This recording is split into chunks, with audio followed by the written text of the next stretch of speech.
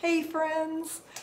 So in my weekly emails, this month I've dedicated June to talking about accessories. So every week we have like a little project that you can do in your wardrobe and I'll give some sort of ideas that might help you to simplify and strategize what's going to work for you.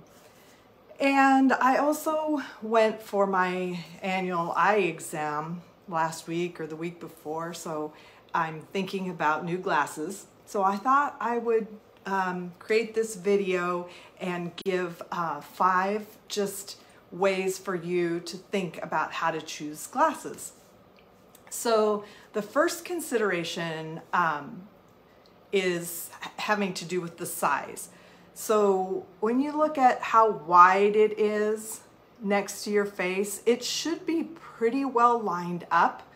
And the biggest mistake that people make is getting like, these might look a little tiny bit wide, but getting them so that they're really wide next to your face, that's the biggest mistake I think that I see people making when they choose their glasses. Now, if you're going for like a big old oversized look that's a style, then, you know, that's a different thing.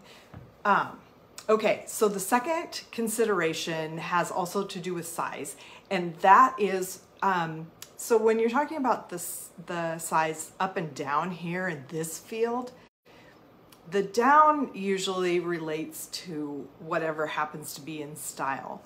But the thing that you want to be careful of, and these are like almost not right, is that this, uh, this top part, you want it to be lined up about with your eyebrows or you want to see your eyebrows above it. The third thing has to do with shapes again, this top piece, this is just an opinion. It's something that you can do. It's not a rule. The other two are rules about the, the width and the height here. This is just a, an idea. If you choose a shape here that is roughly the shape of your eyebrow, or it could even, like if you have an eyebrow that has multiple shapes or different directions, you could just line up with one of them.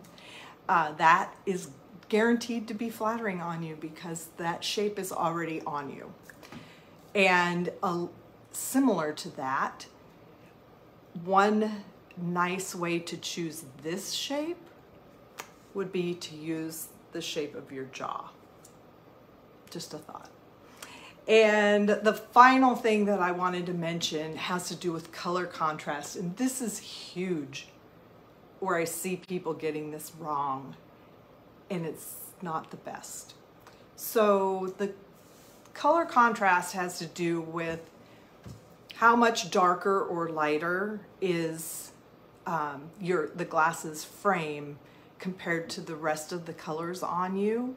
And you can fudge a little bit but it's going to be best if it's about the same amount different from your skin as what your hair is because that's your primary level of contrast. So that's why when these big black frames come around, like right now, there's some really big blocky ones and there have been um, in the past too. Um, you just, if you have black hair or really dark hair, dark brown, that's fine. That's going to look great on you. And because it's going to contrast with this, it's going to provide the same amount of contrast with your skin, whether you have dark skin or light skin, it's going to provide the same amount of contrast. But if you put those on me, I'm going to look really frumpy and that's just what it does. And it's frumpiness is a lot of times caused by something being out of harmony. And, uh, and it might be okay for sunglasses, but I wouldn't recommend that for your glasses that you see your face through. Um, okay, so those are my five considerations for choosing your glasses. And now I have a question for you I have been thinking and wondering if um, if you or anybody that you know would like for me to offer a, a service where you could send in pictures of frames that you're deciding between and I could help you with that.